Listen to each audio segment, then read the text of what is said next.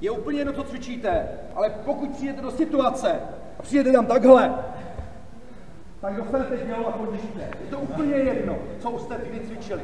Tady jste, máte ruce před sebou, děje se něco, je úplně jedno, ten člověk je agresivní. Jo, chce na vás vylejt pivo nebo tohleto, nebo sliká do vás. Hele, uklidni se, frajere. Jo, tohle je začátek.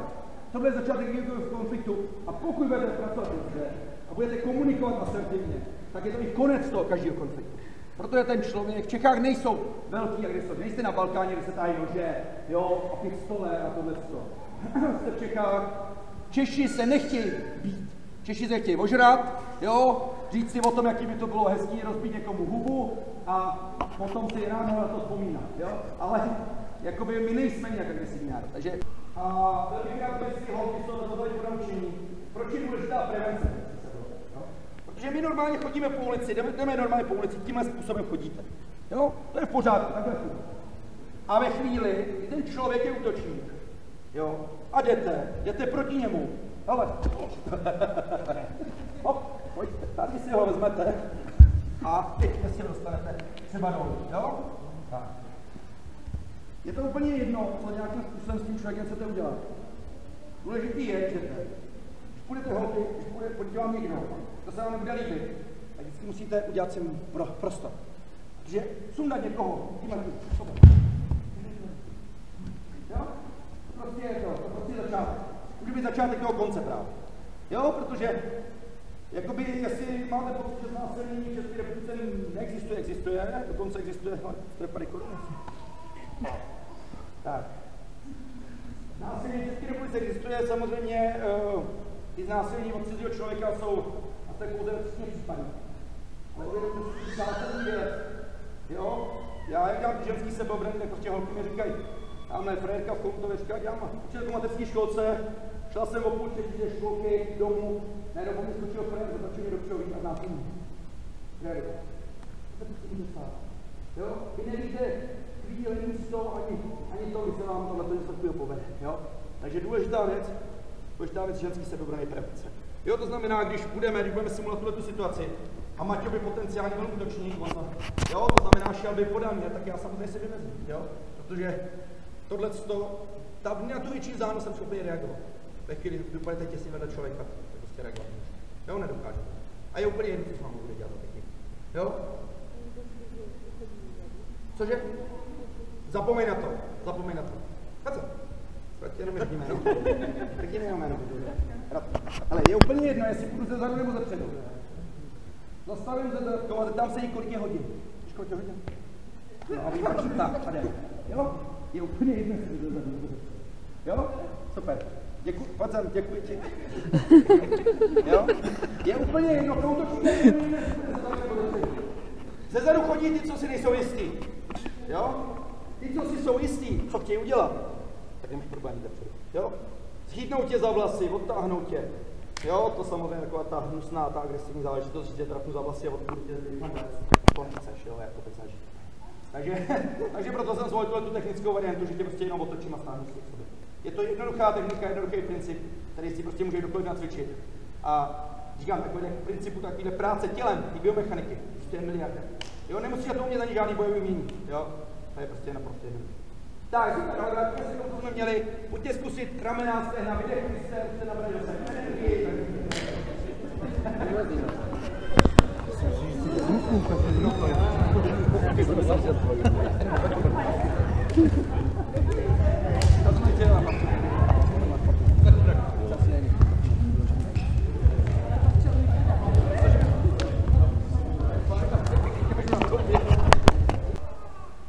můžeme samozřejmě převést i na domácí násilí potom, protože ta paralela tam je docela veliká. Tak je to, že se ta oběť, ten cíl, který je šikanovaný nebo terorizovaný, takže se nevymezí. Jo, že neřekne prostě ve chvíli, kdy se mu to nelíbí, neřekne stop, tohle se mi nelíbí, konec. Jo? Protože většina těch dětí, které jsou šikanované, jsou typicky submisivové, jo, který prostě jo, budou na nich dřevo štípat, tak on prostě tam bude držet, jo, no a pak teda, hele, může šít, tak on jde. Jo, prostě, neříkám samozřejmě, že to je, je jakoby takhle jednoduchý, jo, Samozřejmě ta psychologie té šikany je složitější v tom, že je otázka, kdo šikanuje, jestli jsou to děti, které byly šikanovaný, jo, anebo jestli jsou to děti, které jsou čistě agresoři, to znamená lidi, kteří skončí nejspíš potom díky své násilné činnosti, potom ve vězení, potažmo někde v nějakých léčebnách a tak dále, jo, protože budou agresivní celoživotně. Prosím vás, agresor, člověk, který napadá lidi, který vlastně páchá trestnou činnost nějakým způsobem, že se rve, že dělá nějaké výtržnosti, že je agresivní, že znásilňuje a tak dále. Prosím vás, to není o tom, že by ve, ve 30 se někdo ožral a šel znásilňovat. To všechno je v tom člověku. Jo? V tom člověku, to dítě v pěti letech se ve školce tahá o hračku. Jo? Zjistí, že když udělá takhle, to druhý dítě si zebrečí, ale on tu hračku má. Takže našel vzorec. Jo? On, a on ten vzorec přijmu. Proto ty lidi to, tohle to mají v sobě. Jo? To není o tom, že by agrese prostě přišel z ničeho. Jo? Samozřejmě sexuální agrese potom se dost často pojí uh, ty, ty domácí tyrani, většinou tyrani na ty psychické úrovni. To, že bouchá, to, že někoho bijou, to pak je docela taková, to je spíš ta intelektuální jednoduchost, že on už neví, neví kudy kam, tak prostě řežejí, jo, protože prostě neví, jak na ní dál. A uh, nějakým způsobem prostě pokud znásilňuje tu ženskou nebo, nebo jí sexuálně jak obtěžuje, tak to je ve taková nějaká sexuální nezralost. Jo. Ale dobrý, to není samozřejmě otázka šikany. Otázka šikany u těch dětí je opravdu v tom, že první věc je, že já nevím, si dělají srandu, vystrkují ho z toho kolektivu, on se dostane na, na sam, samej ve svým podstatě okraj toho kolektivu, že jo. A tím, že vlastně ostatní děcka řeknou, hele, jsou tam nějaký iniciátoři a ty ostatní to přijmou. Jo, jo, hele, tak tenhle ten, jo, a přijmou to jako, jako normu, že tenhle ten je pomalejší, že tenhle ten je neschopnější a tak dále. Místo toho, aby ho podpořili v tom kolektivu, tak ho samozřejmě ostrakizujou, jo. No a tím pádem ten ostrakizovaný člověk té společnosti, a to může být i dospělý potom, tak v, třeba v pracovním kolektivu, tak se velice snadno potom stane tím, tím, tím terčem té šikany, protože ta norma je, že, ta, že celá ta komunita prostě bere, že tohle toho můžou, že to je vlastně společenský pořád. Jo? Takže že s tím vlastně všichni souhlasí potichu. Takže to je první problém je vymezení se. Jo? Je to, u cizího člověka se vymezíte z nás, u člověka, kterého znáte, se vymezíte hůř. Jo? Je to přesně ten princip, který holky možná znají jako princip žáby, jo? protože tak, tak vzniká domácí násilí, že vlastně, když byste přišli k tomu chlapovi, on vás hned začal fackovat, tak řeknete, ty jsi zbláznil, jdu pryč rovno.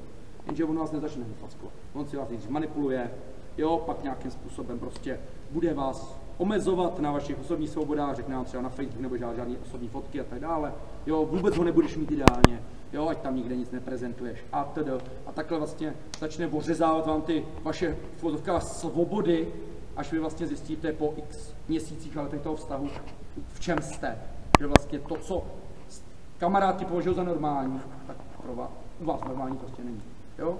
Nebo to, co vy považujete za normální, tak ta většina vás odsuzuje, protože to není pořád. Jo? Takže stejným způsobem trošku funguje ta, ta šikana. Takže první problém toho dítěte je, že se musí vymezit. Jo? Ono je to i o tom, že když ten agresor nějakým způsobem bude potenciálně útočit, tak eh, když tam bude ta agrese, tak je dobrý tu agresi zkusit zastavit tím, že prostě se vymezíte, že dáte najevo, že aby ten člověk, uh, vym, da, že jste ochotní se bránit. Tak, my si to zkusíme tím způsobem, že ve chvíli, kdy jste tady, vyzkoušíte si bojový postoj. Bojový postoj spočívá v tom, že nebudete tady samozřejmě nějaký kung fu pandy a tak dále, jo, nebo prostě nějaký ty, to nepotřebujete. V reálu se prostě děje to, že když někdo je na mě agresivní, moje nohy, mám je, tohle je takzvaná semikontaktní pozice, jednu nohu dám dozadu, tady si vytvořím čtvereček stability, abych byl dole stabilní a ruce dám před sebe. Nechci žádný problém. Jo? Tohle je základní pozice. Není ta pozice hlavně, má výhodu, že uh, ukážu jenom. Jednoduchá věc.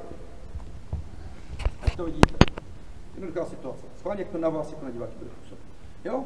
Ono pak samozřejmě vy když pak vidíte nějaký videa na internetu, tak si ty tady ten, to je agresor, jo, ale vy nevíte, co mu předcházelo tomu, jo. Vy většinou jako vidíte nějakou sekvenci trženou z kontextu. Proto jako je hrozně těžký hodnotit, jestli to bylo správně nebo nebylo, protože to nevidíte jako celé. Ale úplně jednoduchá věc, jo ve chvíli, kdy on přijde a strčí do mě, jo, normálně jenom do mě takhle strčí. Co, co, co, co, chceš podrž se, jo, tak kdo bude ten agresor? Jo, logiky věci to budu já. Protože já jsem na tohleto strčení reagoval ve svým podstatě v úvozovkách nepřiměřeně. Jo, vystřelil jsem. Ve chvíli, kdy on do mě strčí, jo, hele, hele, uklidni se, uklidni se, Fede. Máš nějaký problém? jo, máš problém? Tak pojďme to řešit. A je to o tom, že já vlastně v první fázi ten, jsem ten konflikt eskaloval. Druhé fázi jsem se snažil ten konflikt deeskalovat. Ale deeskalovat tak, abych já byl chráněný. Protože já nevím, jestli on, když do mě tady strčí, tak jestli následně nepůjde nějaký útok. Jo? Prostě může tam, může tam cokoliv být. A já vlastně ve chvíli, kdy vidím, že ten člověk už na mě útočí, že na mě poletí ta ruka třeba nějak, jo, to je jedno, tak já prostě fakt se do toho člověka budu snažit dostat a budu pryč. Jo? Druhá věc je, že není cílem, prosím vás, sebeobrany. Podstata sebeobrany je vlastně, když nasimulujete tu jednoduchou situaci, že on do mě strčí a zautočí. Jo? Podstata té sebeobrany je, Takhle skončíte s tou situace, ne že si budete ty tři minuty jak v oktagonu tam flákat. Jo? Že mu tam budete hlavou ty vole a, jo, a, že, a že skončí jak vémola prostě rozsekaný a bude dva měsíce se válet se sestřičkama na, na nemoc, nemocnici, jo? Tak to nefunguje ta realita. Realita funguje tak, že přijde útok, vy ho odrazíte, berete nějaký protiútok a zmizíte do hajzlu, tady nebudete. Jo? To je základ reality. Jo, jestli někdo jako čeká nějaký akční filmy Segala, ty vole, budou tady lítat lidi do, do rajča, jo, tak to prostě nefunguje. Jo, takhle to prostě není v tom reálu. Takže to je jedna, jedna zásadní věc. A pro vás, zkušenost třeba hole, pro holky, tím, že se vymezíte, jo, moje cvičenky mi to potvrzují mnohokrát. Došlo k nějakému agresivnímu chování, někde nepříjemnému, ta ženská prostě třeba na nějakém festiáku, nebo to, ta, ta ženská prostě řekla, stůj, nech mě, nešaj na mě. Vymezila se jasně. A ten člověk věděl, že teda tím pádem asi jako to není v pořádku a radši si šel najít jinou oběť. Jde o to se vymezit, umět se vymezit. Ale to dítě musí fungovat úplně stejně. To dítě musí nejdřív pochopit, že to, co se děje, není v pořádku. To je samozřejmě na rodičích a na konzultaci rodičů, po případě učitelů s tím, aby to dítě prostě nebylo tím cílem. Jo, to dítě to neví samo, protože ona bere normy jinak. Jo, v tu chvíli. Ta norma je ten kolektiv jeho, kolem něho. Takže on neví, že tohle je špatně, nebo to nevnímá. Jo, vadí mu to a neumí to vymezit. Takže tohle je hrozně, hrozně důležité. Jo. Takže my si teďka zkusíme jednoduchou věc ve dvojici. Jste tady. Bojový postoj, ruce před sebou. Tohle je za, za, začátek. Druhá věc, když nechci, nechci žádný problém, tak já teďka k ní přijdu a ona se jenom vymezí tím, že natáhne přední ruku a řekne stůj. stůj. Jo, přesně tak. to je přirozený, ano, ano. Takhle, anebo takhle. to jsou dvě v základě. No, tak to už, to už ale... To, to už si musíš být poblíž rukavice a do toho. Jo, takže teďka si zkusíte ve dvojicích jednoduchou věc. Budete takhle nějak rozumně daleko od sebe, abyste chtěli reagovat. Ten člověk dojde. Stůj, stůj. Prosím vás, ještě jeden dobrý, drobný detail. Jo? Všimněte si, uh, Pavča teďka šla jakoby ofenzivně dopředu. Je dobrý, aby, když ona půjde jako útočník. Stůj! Já půjdu dozadu, abych naznačil tu defenzi. Jo? Je to úplně jednoduché věc. Když ten člověk bude agresivní, bude nastartovaný, aby proti němu dal tohle. Pro ně to výzva. Pro ně to výzva. Jo? Je to psychologie. Bojíte se někoho? Dejte mu najevo, že se ho nebojí. Vykročte před ním. Nechcete, aby byl agresivní? Jděte do Jo? Tohle vám řekne každý vězeňský psycholog. Jo? Protože prostě tohle to je normální jednání ve vězení. Když přijde kriminálník nějaký a prostě je tu nějaký velký ten, kámoška spolužečka byla dva půl roku vězenské psycholožka, drobná holka, ještě drobnější jak tadyhle začíná. Jo? A ty tam přišel hovado dvoumetrový, že jo, takový nějaký tyhle potetovaný od hlavy až patě, že jo. A ona říkala, já jsem vždycky byla jako takováhle. A oni mi pak poradili, říkali, hele, když přijde, tak tady. Jo? A on ví, že se ho tu chvíli nebojíš a že prostě, protože systémem vězení, vězení funguje na bázi zastrašování. Jo? Ve chvíli, kdy ukážete slabost ve vězení, tak jste hodina, jste prostě nic. Ve chvíli, kdy ukážete, že jste silný, tak můžete být král. Jo? Nebo, nebo král. Na u těch ženských je to ještě o to složitější, že ženské jedou intriky, jedou, jedou psychiky, jedou opravdu hrusárny. Jo, jestli si myslíte na jiné holky, že vězení je taková ta romantika, co byly holky pod zámkem, tak na to zapomeňte. To je přesně tak to ve vězení takhle nefunguje. Jo? Ano. Ano, přesně tak. Dvě ženský, dvě ženský do toho, že se bijou, dají ještě ty top emoce, takže jako tam je to fakt. Jedna ženská už mrtvá, druhá jim ještě dvě hodiny. No, to se třeba stává, ale oni jsou docela zákeřní, oni jsou schopní se šikanovat tím způsobem, že vezmou koště, vrazej ti ho do nějakého tělního tvoru a zalomějí. Teď si ty Jo? Hm? A to nechceš. Jo? To se samozřejmě do médií nedostane, že jo? Tohle to ti řeknou holky, který jste dělali. tak maximálně, jakože, že tohle to jsou. A nebo dozorky některý to pak řeší. Tak, přesně. Takže teďka jednoduchá věc, stojíte od sebe, přichází k vám, stůj! Vymezím se, prosím vás. Ještě jedna věc, to vymezím. Když ona půjde, ještě, ještě Když ona půjde, a já půjde, stůj, stůj, stůj, stůj, tak teď já vám najevo, že se bojím. Jo? Kravina. Vy se musíte vymezit ve svým podstatě ve chvíli, ten člověk je v nějakých kontaktních vzájemnostech. To má, stůj! Nech, pojď. Jo, vymezím se, teďka. Nemůžu to udělat pozdě, protože ve chvíli, kdy ona přijde, Ježíš, pane, nech mě Jo, tak to už je pozdě. Jo, je to opravdu o tom, že vy se bavíte s lidma na tuhle vzdálenost. Když se váma přijde váš nadřízený nebo někdo a přijde k vám začne na vás mluvit takhle, tak vám je to krajně nepříjemné. Jo? To prostě nechcete, jo? Potřebujete se vymezit. Pokud někdo tohle na vás bude zkoušet, tohle je normální klasická manipulace, jo? Pokud máte šéfa nebo nadřízeného, který vám prostě je schopný přijít a prostě jako by vám něco říkat z 20 cm vzdálenosti, normálně natáhněte ruku a řekněte ústup, prosím. Jo? Nestupuj do mého osobního Zkus to. Zkus Ano. On to může brát jako osobně hodně, jo? A na druhou stranu ty si zachováš integritu. Jo? Protože ve chvíli, kdy on může tě ve svým podstatě ponižovat tím, že uh, k tobě půjde blízko, jo, tak může s tebou i manipulovat. Jo? Tyhle ty vzájemnosti, ty se cítíš jako ponížená, podřízená a on s tebou nemanipuluje. Jo? Klasická verbální manipulace. Jo, dneska to je miliarda knih všech možných, jo. Musíte sledovat body talking, musíte prostě pracovat s tím člověkem, jo. Ale jak říkám, nenechte se dostat do situace, kde vy máte být podřízení, to je špatně. Jo, to už je vlastně šikana, to už je začátek té šikany. Jo, furt se bavíme o tom samém. Takže pojďte teďka zkusit tohleto na sobě. A prosím vás, bylo by hezký. Neřvěte, ale chci vás slyšet. To znamená, bude to o tom. Stoj! Nemusíte řvát do celou ale měl by to být důrazný. Neměl by to být prostě jako, jako, stůj. Jo, tak tohle nikoho jako nevěsí. Vy musíte být důrazný, rázný a odhodlaný. Jestliže tohle nejste, a jestliže tomu člověku dáte najevo, že prostě, no tak já vlastně nevím, jestli se ti chci bránit nebo nechci, jo. No tak tyhle, tak ten tě má na pekáči, jo. To je jasné. Pojďte na to, pojďte, pojďte zkusit.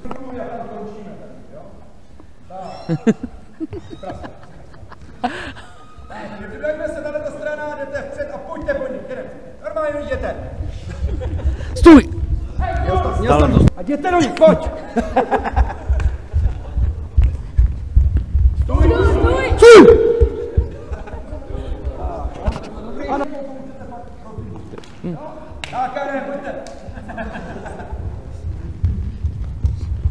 Stůj! Oh, Tebe nezastaví nic, tanku. Když budete trénovat, cvičit tady, tak, tak vy nejspíš budete reagovat venku.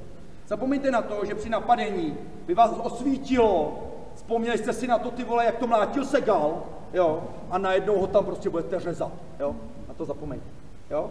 A já jenom na tomhle tom vysvětlím jeden klasický fake, jo. Ženský sebeobran. Ženská sebeobrana má několik fakeů. První fake je pepřový spray, jo. Teď, kdyby ho vystrč, vytáhla, tak buď to udělám tohle, anebo jí tu ruku s tím pepřákem chytím a vezmu, vezmu jí. To je jeden pr- pr- problém. Druhý problém, kopnout mezi nohy někoho. Útočník je agresor. Útočník je predátor. Když je sexuální predátor. Pojď, kopni do Jo, ne. To by bylo hodně, hodně velký masochista. Jo? Jde o to, že on, na ní, on ní napadne takovým způsobem, aby ten kop mezi ty nohy vlastně nešel udělat. Ideál. Jo? Je on už to má vyzkoušený. Druhá věc je, že samozřejmě, když po ní skočím a začnu ní řvát, tak ona zapomene na to, že měla kolou mezi nohy a bude dělat, co mi na očích uvidí, jo? protože ty psycho, psycho oči nic moc. Takže asi tak. Ale jako samozřejmě, je to relevantní technika, pokud by ten člověk opravdu přišel, chytil tě, ty si měl prostě ten prostor, prostor na to tam trefit. Jasně. Jo? Kopnout. Jo? Cože? No, jako když se netrefí, Tím je totiž to, že ve chvíli, kdy já ji na to nemám, Jo, tady... Jenom naznačí. Tak, když prostě naznačí, tak samozřejmě ten, ten zásah by tam mohl být. Jo. Druhá věc je, že prostě já, když ji budu držet, tak ji budu držet nějakým způsobem tak, aby prostě mě netrefil. Jo, ideálně. Uh, druhá záležitost, když držet, tak vlastně ten člověk může samozřejmě jet i rukou do rozkroku, jo? Nemusíte jet nohou. Jo, můžete prostě tuhle tu chvíli, když tady drž, jedno, jednoruční držení, jo, tak já prostě úplně, úplně krásně hop, hop, vzít toho člověka na střed a to. Když se to může jako kopačka mezi nohy, univerzální záležitost, a když holky dostanete kopačku mezi nohy, tak uh, vy se tam nezhroutíte na Dominika Haška, jo, že jako to chytíte, ale na druhou stranu ten frajer za těch 15 minut, než vyská, vyskáče a vydechá, tak je zase funkční. Jo, vy se 14 dní nevyčuráte, jo, nebo to budete minimálně 14 cítit. Takže to úplně není jako taky on, jo. Jinak mimochodem primární cíl jsou oči, oči a rozkrok, to je, v každém systému je to primární cíl. Uh, tohle to určitě děti neučíme. Jo? Nikdy neučíme primární cíle děti. To znamená, i já se vyvarovám toho, abych učil děti kopat někoho do rozkroku. Nebo útočit na obličej, na, na oči. To je fakt fatální. To může být prostě konec. Jo? Já jsem viděl několik videí se vystresovanou holčičkou někde v, Rusku. Do, ten učitel tam není řve, holčička tam se klepe, klepe u tabule, vystresovaná, malinká holčička, někde, maximálně 10 let. A pak prostě ve stresu dělá, kopne ho mezi nohy a uteče, jo. Tak to je přesně to, co, čemu nechcete dospět, aby to ty děti uměly. Jo, tohle to nechci. Tak, tam si ukážeme jednoduchou věc. Pojďte však sem, ať to vidíte. Já ji chytím jednou rukou, stejnou lehou v tu chvíli. Ona se potřebuje zbavit toho uchopu. Jo? Má tady druhou ruku, dláň. A prosím vás, tady máte situaci. První hodinky, druhý hodinky, jako byste byli na druhé hodině. Jako byste bouchali do druhé hodiny. Protože tam máte sval a ve v podstatě, já když ji tady vezmu, první hodinky, druhý hodinky, když tady udělám, ten člověk prostě bude reagovat, tam jsou šlachy. Jo? Vy teďka máte otevřenou dlaň, boucháte, boucháte do té ruky a ustoupíte pryč samozřejmě. Jo? Tohle z toho se dá při nácviku jo, na, naučit a je to nezávislý na velikosti toho člověka, na té síle. Ve chvíli, kdy ten silný člověk byl hodně silný, držel vás silně, tak předtím, než bouchnete, tak ho navolníte. To znamená, že ho kopnete třeba pod koleno. Jo, normálně. Tak, na, kopneme pod koleno a teďka bouchne do té ruky a ustoupí. Jo? Tohle to je důležité, ustoupit v té situaci. Protože to je jestli to je nějaká šika nebo to. Já si ji tady chytím a on než bouchne a neustoupí. Jo? A je to. To je další útok.